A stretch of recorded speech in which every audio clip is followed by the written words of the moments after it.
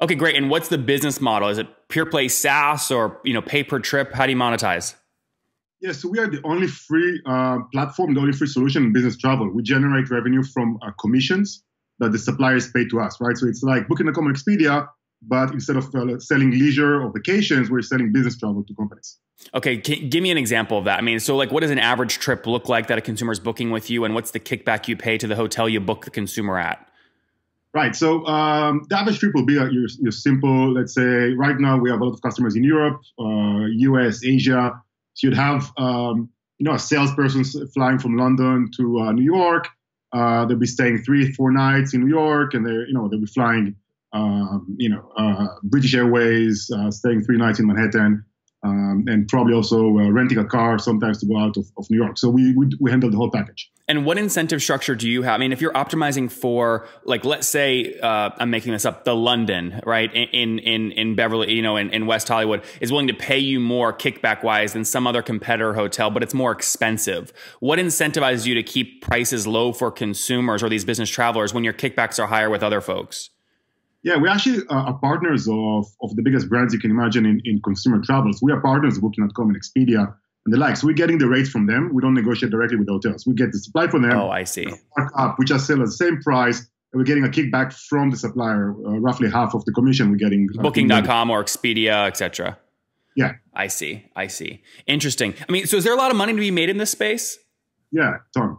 So we're talking about the 1.5 trillion dollar market uh, globally. So that's the yearly spend of business travel globally. Mm-hmm. Uh, and, and but what percent of that actually? I mean, the majority of that goes to actually the hotels, the airlines, et cetera. Like, what what percent of that trillion, you know, 1.5 trillion, do you see coming to people that facilitate the middleman role?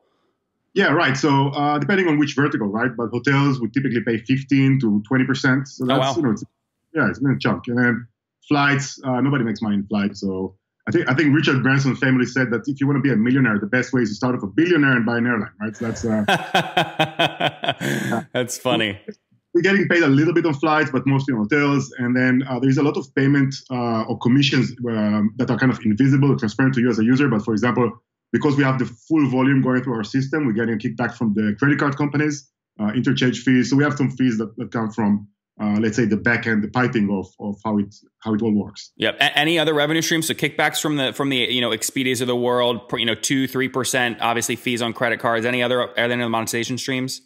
Yeah, we have a, a, a dual um, a tier. So we have the free platform, which is full, you get the full product uh, in the free platform, and then you have a premium plat- um, offering, which is uh, ten bucks, ten euros, or twelve bucks for, per trip, which is very cheap compared to let's say American Express of the world.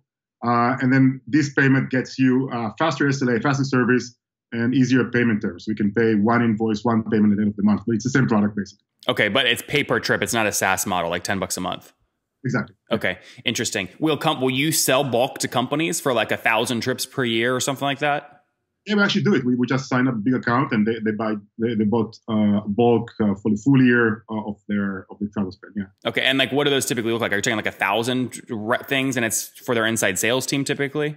Yeah, we count by number of trips, right? Because you, you, you would have like one person flying a lot and one you know not flying a lot at all. So um, yeah, and then negotiate down. We, we get them a discount on the premium, so they got I think like twenty percent discount on the premium. Okay, but but I'm just curious, like what volume was that kind of deal at? Thousands of trips or?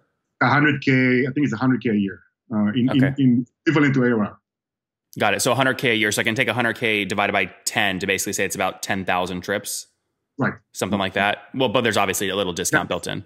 Yeah. What's your team? Uh, so, so actually, before I get more into where you are today, so give me more of the backstory here. So, when did you launch this thing? Yeah. So, um, I, I, sold, as you kind of mentioned in the intro, I, I sold my previous uh, startup to Booking.com back in 2014. Uh, we did software for hotel management. So, I've been in travel on the business side of travel for a while now. Um, was that a meaningful? With, obviously, sorry. Was that a meaningful financial exit for you? For me, yeah. Uh, okay. Yeah. Okay. I, I, the reason I ask is because I always find it's difficult to motivate somebody once they get rich. Yeah, I mean everything is relative, right? Um, but honestly, if if your only motivation is is making more money, then you're missing something out. So. Uh, just enjoy creating stuff. I enjoy. I enjoy. I, I write code. I'm, I'm, a technical person, so I enjoy geeking out with with my team. So uh, and then solving big problems. I think it's awesome to solve big problems and, and seeing people happy about it. You know, so yeah, uh, it's not only about the money, right? So so keep going there. So you said you exit that one to booking. Right, and then uh, we stayed with booking for for a while. Um, and then I left because I saw this opportunity together with my co-founders. Uh, who how many co-founders? We started off with three, so we have three co-founders. Yeah, and then uh, we saw this huge opportunity, and we we, kind of, we went crazy. How come nobody is paying attention? Everybody's looking at leisure travel because that's the fun part. You know, you're going on you know on on, on fun trips in Hawaii or you know who know where in, in Barcelona as an example, um, and that's the fun part. So everybody's focused there. Then you turn your look to business travel, which is the same size of leisure, right? So there are roughly 50-50 of the total travel uh, market globally. And then you have a 1.5 trillion problem that nobody's trying to solve, or at least nobody's trying to solve the way we think that needs to be solved, which is consumer level product, uh, great UX, free model, uh, best inventory, biggest inventory in the world, etc. So nobody was paying attention, uh, and then we decided let's pay attention. Let's let's just go for it. So we we, we left Booking.com and we started this business in uh, 2015, just the beginning of like three years ago. Yeah. Mm-hmm. And and just going back, I didn't realize this was public, but it, I believe it was actually public. I'm looking at my notes here. The the the the Hotel Ninja is basically sold for what it was about up to 20 million. I assume there was an earnout and things in that as well. Yeah, I mean, this is the numbers were kind of made up by by journalists, so we never publicly talk about the numbers. Okay, got it, got it, got it, got it. Uh, well, Priceline's public though, right? Yeah. I mean, so they at some point, unless they rolled you up into some big thing, I mean, at some point they had to disclose that. They didn't. They didn't disclose the full number. They didn't disclose it. Okay, good. All right. So, um, okay, good. So back to what you're doing today. So you've raised a bunch of venture capital. Did you raise? Ca- have you raised capital in the past, or is this the first time you're kind of going down the VC route? Um, we kind of were bootstrapped before, not, not because we, we didn't want to raise, but just because nobody would invest. Like it was a it was a very difficult sell. Hotel Ninjas, my previous startup, uh, where we had 200 competitors doing exactly the same thing and hoteliers who are the customers who didn't feel the pain points. It was a very tough one. Uh, so it's the first time we did raise a bit, but this was like uh, TravelPerk is the first time we actually raised a significant amount of money. Yeah. Mm. And you raised how much today? Thirty. Um, yeah, a bit, a bit more than thirty. Yeah. Okay, good. And what does that take you through? Your Series A, Series B? Yeah, it's uh, it's including the Series B. Yeah. It's including we, Series B. And and and what are you at today now in terms of team size? Close to 100 people. 100. Okay. Are you cash flow positive yet or no? No, not far from. I was going to say, are you are you generally? I mean, where's money, most that money going? Where are you burning? Mostly payroll. Um, so right, so so the team we have a really good team. Mostly uh, half, almost half our engineers and, and product people. So uh, even though we're in Barcelona, these are not Silicon Valley um, salaries. Still, uh, we pay well. Um, and yeah, so payroll mainly, and then just you know OPEX, right? So nothing. We don't have machines. Yep. And what so what are some of the internal metrics you track to to, to, to determine if the business is doing well year over year? Is it number of trips booked, or transaction volume, or kickback percent? What? Yeah, we're looking at GMV, gross merchandise uh, volume, right? So, so, the total volume in the system, and then growth of that as, as kind of top line growth is, is is how we look at it. And in that metric, we're doing pretty well. We're doing 10x year on year at the moment. Uh, trend, uh, so like GMV. GMV growth. Yeah. Okay. And revenue growth is, is going you know hand in hand with that, right? So you know revenue growth is also 10x year on year. Got it. And can you give us a sense over the past 12 months what GMV was? Yeah, we're um, we're getting close to um, triple digits, so getting close to 100 million uh, yep. a year. You think you'll break that this year? Yeah.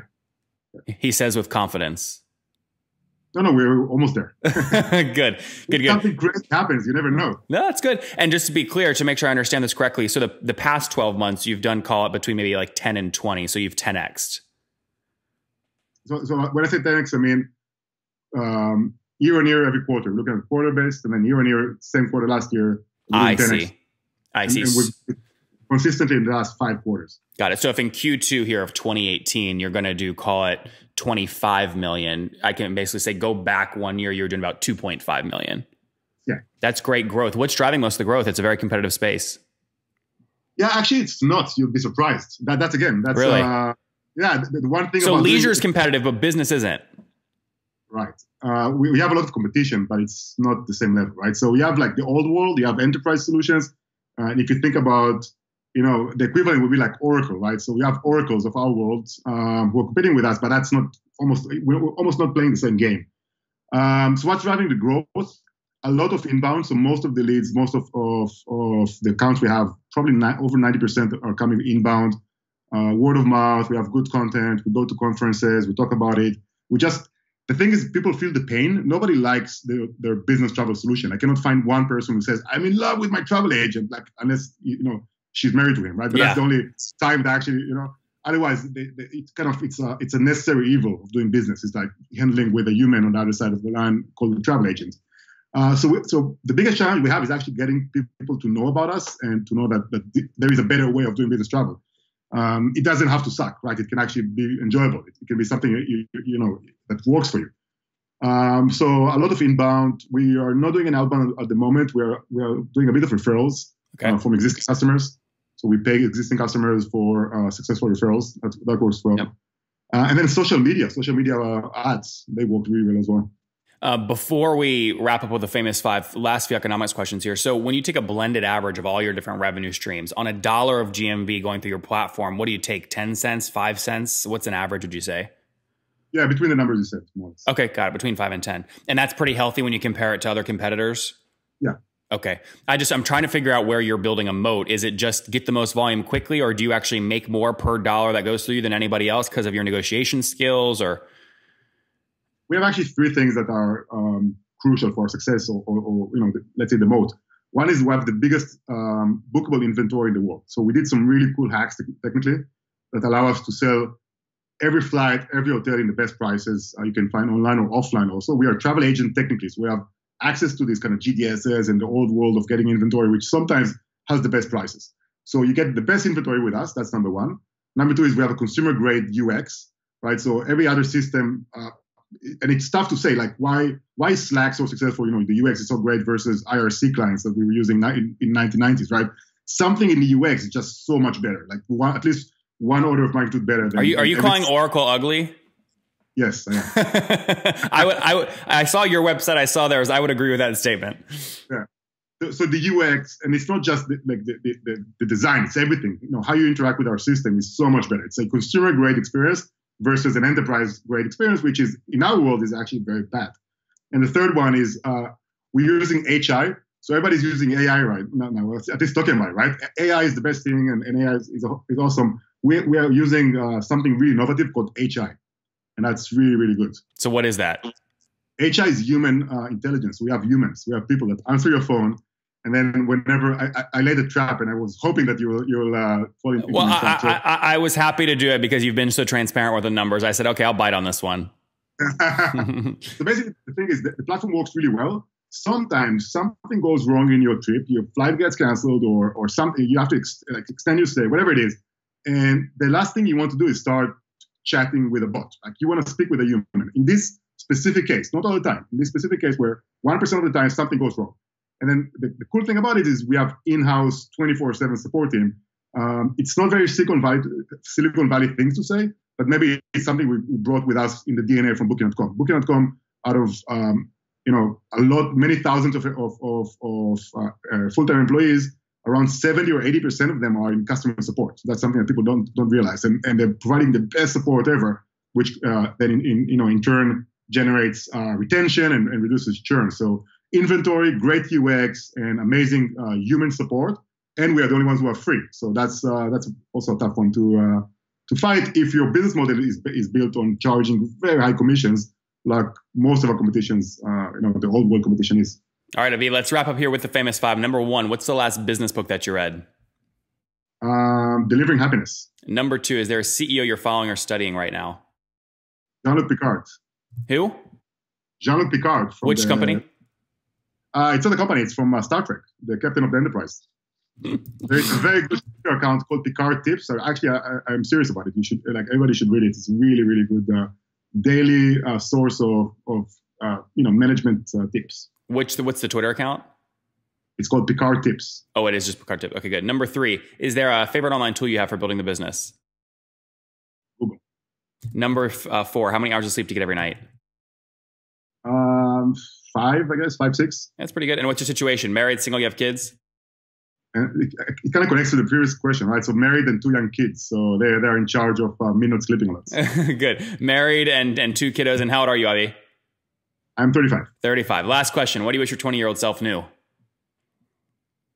Uh, that's a good question. I guess saying no is also okay. So you should say no sometimes. Saying no is okay. There you guys have it. Founded TravelPerks a couple years ago after an exit to booking.com. They are focused on growing GMV, gross volume through their platform. They're growing about 10x year over year. So about 12 months ago, doing about 2.5 million. And again, trips, business trips booked through their platform. Now that's up north of 25. They're taking between five and 10 cents per dollar through their platform. So you can kind of back into revenue that way. They've got a team of 100 people, mostly engineering, 50 people in engineering and product, which is great. Burning cash, but makes sense. And they can do it because he's done a great job raising capital at around 30 million bucks in a, uh, in a hot space, consumer level product, and typically one dominated by enterprise solutions. Avi, thank you so much for taking us to the top. Much. Cheers.